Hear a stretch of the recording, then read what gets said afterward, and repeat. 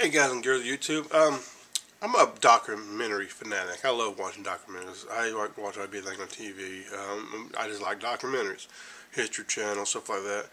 I ain't much for the trash TV. My wife loves it though. But um, last week I was watching something on Netflix called The Science of Evil. It's um, a documentary made by uh, National Geographic. What they were talking about was um, normal people put in uh, certain situations will do evil deeds, but then you take them back, and you know it's, it's a real bit, and then they'll go back to normal.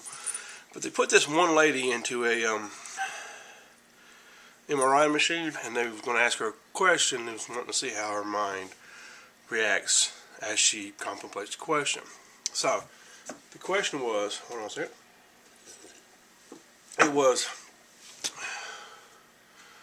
you're in a, a camp or whatever, or you know what I mean. Um, you're in a hut with villagers, and you're holding your baby, and if the um, bad guys, nail-to-wellers, or whoever's out and running around the, the camp looking for people, if they find you guys, they will kill you all.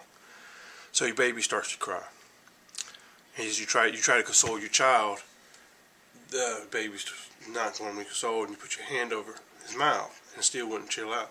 So the question was, do you kill your child and save everybody, or let your child live, then you all die? Being a straight beat counter, you say, yeah, just kill your child, right?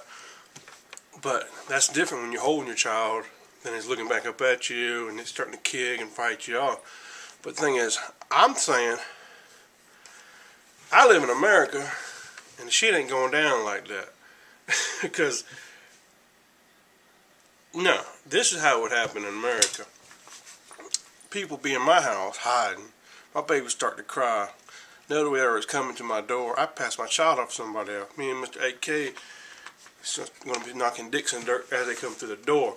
As I'm shooting it out with the bad guy, everybody else will be making it out the back door. Um, as I do my Hellfire.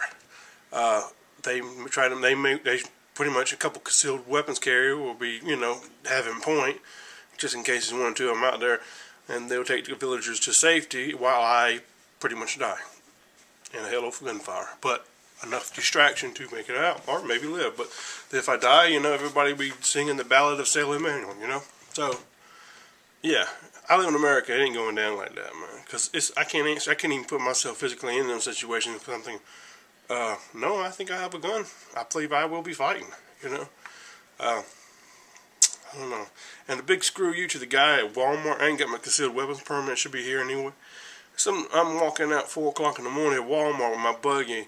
Some idiot tosses a firecracker, you know, and I'm like, you know, if I had a gun, I'd probably have turned and whipped around, you know what I mean? You know, it sounded like a little 22 going off, you know. Didn't know what to do. That's, that's, I don't know Walmart parking lot. Alright guys, be good.